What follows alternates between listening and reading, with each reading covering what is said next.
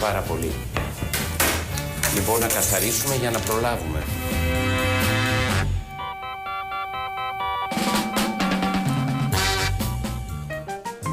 Τούρτα σοκολάτα Concord.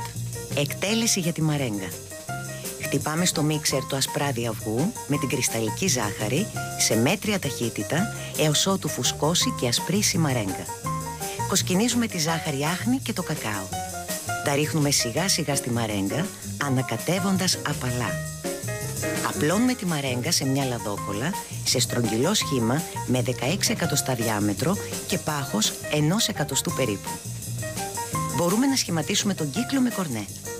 Με την υπόλοιπη μαρέγκα σχηματίζουμε μακρόστενα μπαστούνάκια με το κορνέ και ψήνουμε σε προθερμασμένο φούρνο στους 120 βαθμούς για μια μισή ώρα τουλάχιστον. Εκτέλεση για τιμούς.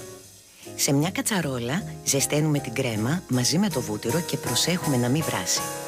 Ανακατεύουμε καλά μέχρι να λιώσει το βούτυρο και ρίχνουμε το μείγμα στη δημαχισμένη σοκολάτα.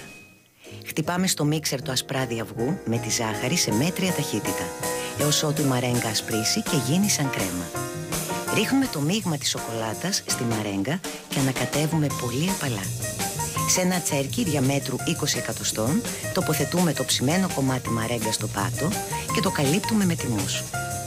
Αφήνουμε στο ψυγείο ή στην κατάψυξη να κρυώσει για μερικές ώρες.